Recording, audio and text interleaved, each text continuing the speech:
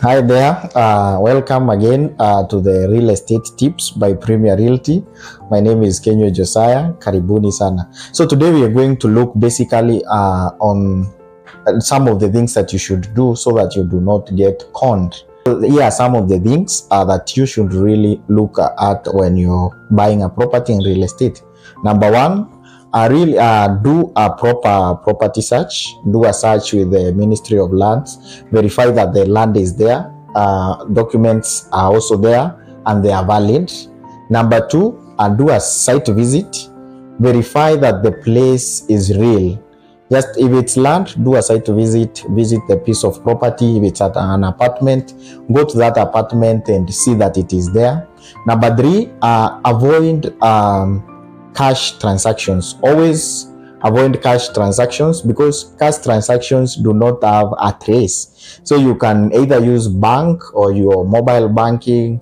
You can use other means of um, payment, but avoid cash. Also, uh, avoid uh, some properties that have very low prices, uh, price rate uh, that is below the standard rate in an area. Let's say, for example, you're doing a property along Thika Road and someone is, let's say, selling at 1.5, while we know the the property range between these places is between 2.5 to up to a tune of 15 or 20 million. So it's very questionable when the price is uh, is very low compared to the rate at which the market uh, is uh, trading. So that's a very big red flag, and that is where many people lose money. So do not lose your money going for a cheaper product that is a scam. Uh, another thing, have a, a legal advisor.